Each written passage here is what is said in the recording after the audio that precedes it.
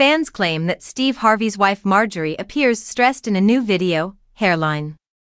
Pushed back, a year after she fought rumors that she had an affair with the comedian, following their battle with cheating rumors, Steve and Marjorie Harvey are off gallivanting on one of their yearly family vacations.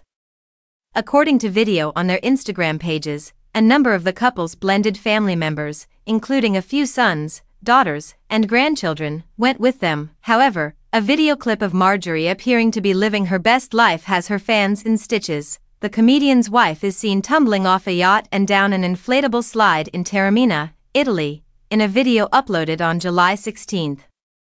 She wrote, I did it, as the caption for the brief video. When Marjorie lost her sunglasses as soon as she stepped into the water, most fans laughed. Why would she leave her glasses on? exclaimed one person. Not y'all talking about the glasses like Auntie ain't got a closet with a mean collection I'm sure she packed a few for vacation, one person commented, following another. Fans noticed her thin hairline and started zooming in on other parts of the video after Spiritual Word posted it to their Instagram page. Point one person remarked, Grandma's hair is thin AF. She has a large forehead that appears to be pushed way back on her head, another person commented.